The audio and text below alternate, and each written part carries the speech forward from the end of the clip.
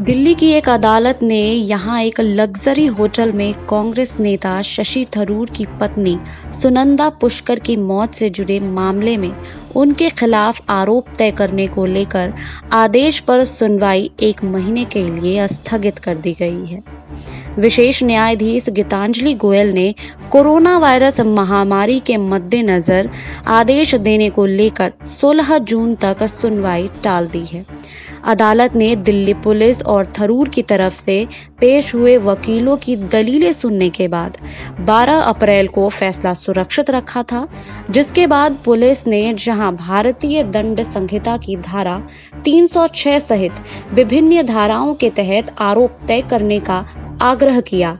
वहीं थरूर की ओर से पेश हुए वरिष्ठ अधिवक्ता विकास पाहवा ने अदालत से कहा है कि विशेष जाँच एसआईटी द्वारा की गई जाँच में उनके मुवक्किल को पूरी तरह दोष मुक्त माना गया है।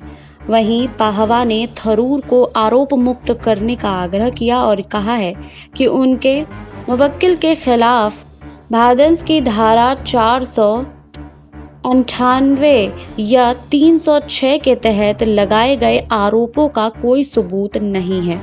पुष्कर 17 जनवरी 2014 की रात यहाँ एक होटल में मृतक मिली थी। दंपति होटल में रह रहा था क्योंकि उस समय थरूर के आधिकारिक बंगले की साज सज्जा का काम चल रहा था। दिल्ली पुलिस ने थरूर के खिलाफ चार सौ अंठानवे ए और 306 के तहत मामला दर्ज किया था, लेकिन उन्हें गिरफ़्तार नहीं किया गया था। 5 जुलाई 2018 को थरूर को जमानत मिल गई थी। आपको हमारी रिपोर्ट कैसी लगी? हमें कमेंट बॉक्स में लिखिए। बाकी और खबरों के लिए जुड़े रहिए S P N nine news के साथ।